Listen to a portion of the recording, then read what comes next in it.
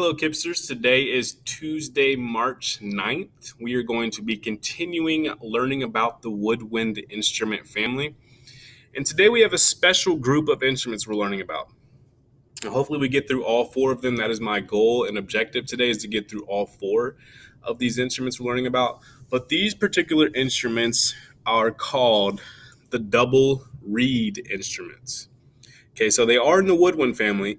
They are woodwind instruments, but one particular thing about them that's special is that they're called the double reed instruments. And why they're called that? Well, a lot of most woodwind instruments have what is called a reed on it R E E D, a reed, not like read a book, but reed, like R E E D. And we're going to watch a video about how reeds are made. But they're called double reed because these instruments, particularly the the, the reed goes into the mouthpiece.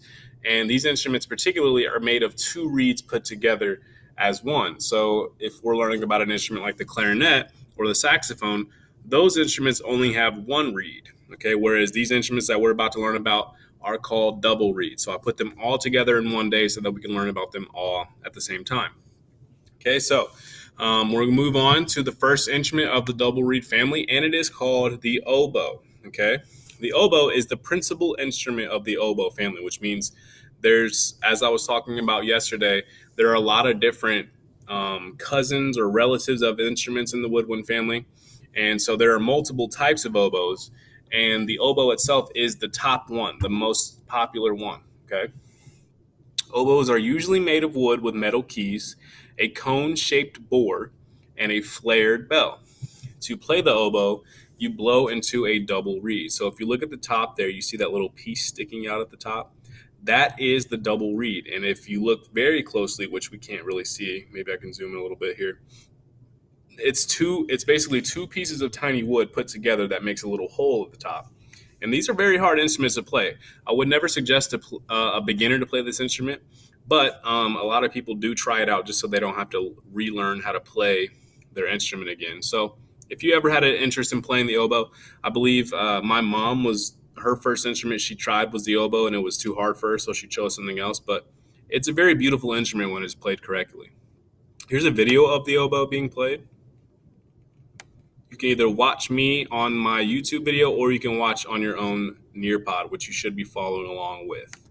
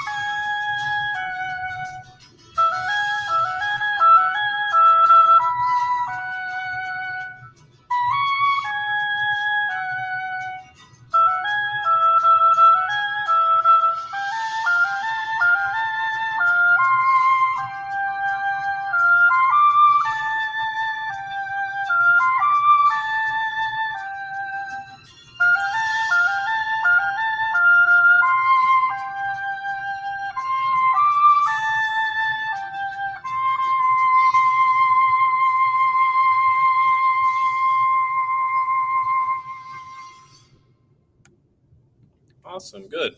So again, that instrument very beautiful if you know how to play it right. But if you don't know how to play that instrument right, very easily can sound like a wounded duck.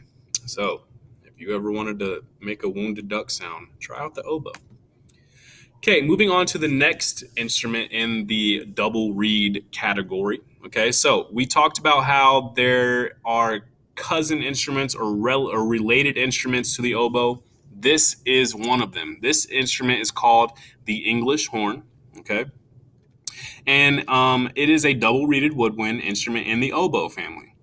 It is approximately one and a half times the length of an oboe. So, um, an oboe, I would say maybe this tall, you know, one and a half, so double and then a half, um, or maybe not not exactly double as long, but it is much bigger. So you have to kind of like it, the oboe will never pass like your chest if you're an adult person, but if you're an English horn player, it'll probably be more towards your lap is where the English horn would be sitting. So it is much longer. Um, it does have a deeper sound, um, and it, it is probably a little bit cha- more challenging to play, and not as popular as the oboe, but you will see it in a lot of bands as, um, and specific songs. So um, just to give you a little example here, when people write music, um, they don't always include all the instruments. So you know, say I'm composing a piece for band. I don't have to write an English horn piece, okay? And it's not very easy to to come across an English horn even. So you're more likely going to see your English horn parts in like college music and stuff. But in high school and middle school, you're not really going to play the English horn as an instrument of choice. But you could if you really wanted to.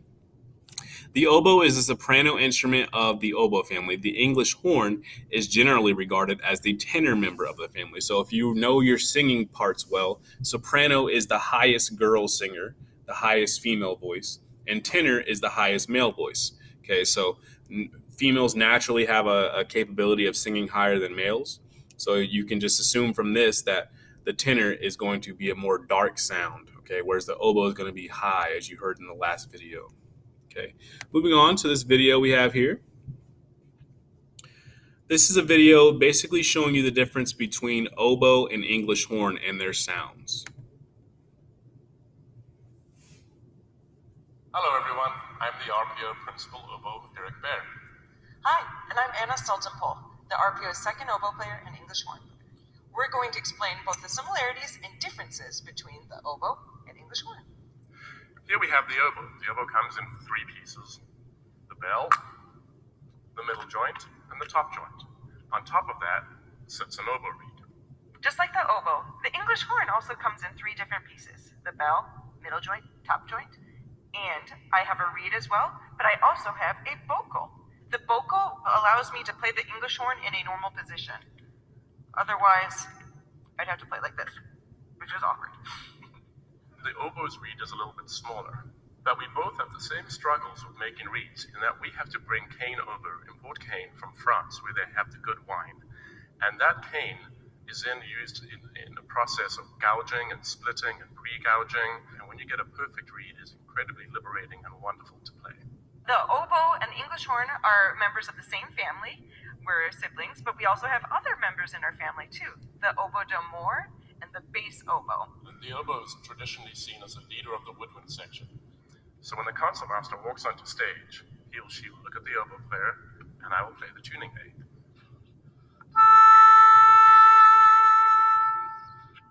The reason the oboe plays the tuning aid is because our sound is quite a penetrating sound, and so everybody can hear it. So, unlike the oboe, the English horn is not a concert pitch instrument. When I finger a note, take an A for example, it doesn't actually sound an A, it sounds a concert D. So the English horn is pitched a fifth lower than the oboe. Despite their differences, the oboe and the English horn still make beautiful music together. Eric and I will now be playing a duet by Alec Wilder for oboe and English horn.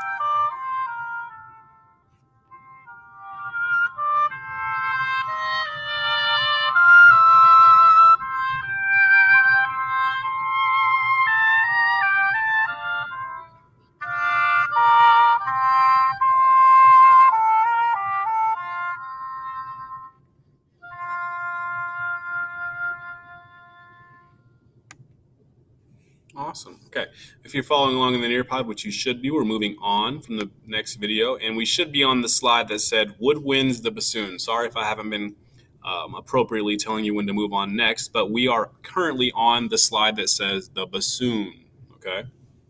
And remember, these instruments that I'm talking to you about today are all similar, not because of they're in the same family, but because they all use a double reed. Okay. And that is the one reason I categorize them all together. Other than that, this instrument does not have any relation to the oboe. This is called the bassoon.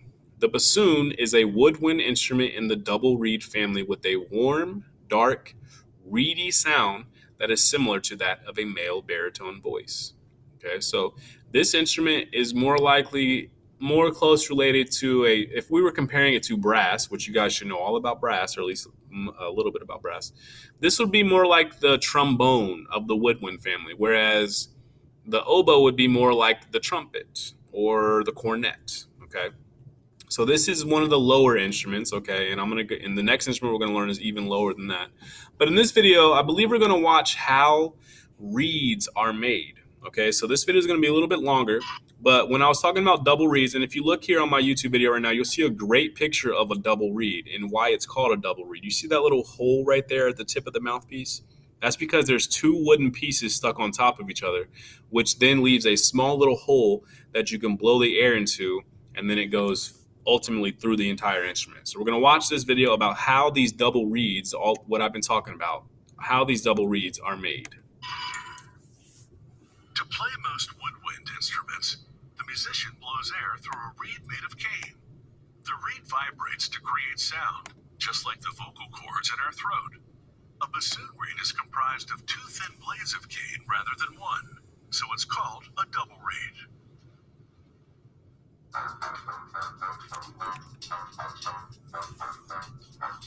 A bassoon reed has twin blades at the top that vibrate to produce sound and a tube at the bottom that fits onto the bassoon's lead pipe. The reed maker begins with a stalk of cane that's almost an inch in diameter. With a single strike of a cylindrical X-shaped blade, he splits it into four equal strips. Then uses a guillotine to cut each strip to a length of four and three quarter inches. After soaking a strip in water for about eight hours to soften the fibers, he laterally slices off about half the cane.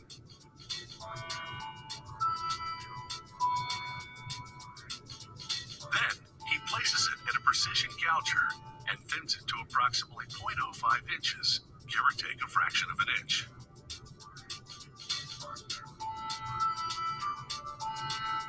He verifies the thickness with a precision measuring tool called a dial indicator.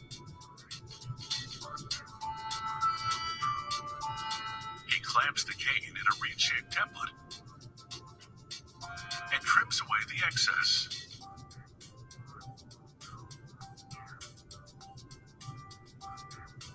This gives the cane a distinct contour. He removes the outer layer of rigid bark and thins out the middle, which will become the dual blades of the reed. Next, cuts a pattern that will enable the reed to vibrate at the frequencies required to produce the bassoon's full range of 44 notes. Then he scores both ends of the cane to make them flexible enough to be bent into a half circle. He folds the cane in half and ties it with a piece of brass wire. The fold will form the double blades at the top of the reed. The opposite ends, once bent mating half circles, will form the tube at the bottom. Keeping the cane wet, he heats a cylindrical forming mandrel over the flame of an oil burning lamp. Then he wraps the tube end tightly with twine.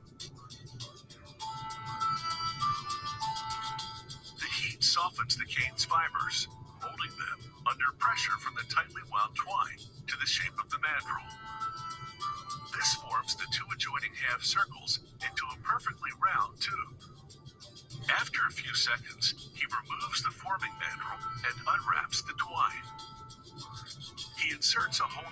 of the same diameter and wraps it with a rubber band.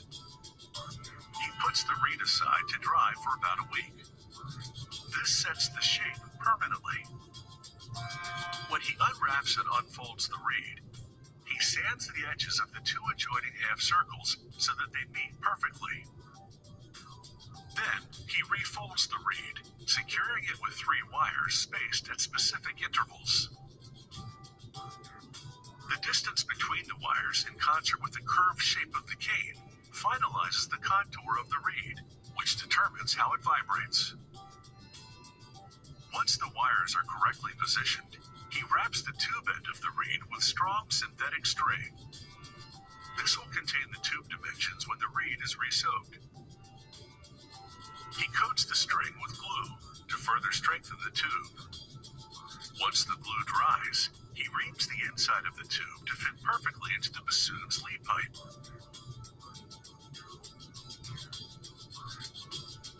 He places a ruler against the first wire and makes a mark of just over an inch out toward the folded tip. Then he clips off the folded tip. The reed now has double blades that vibrate when the musician blows air through them.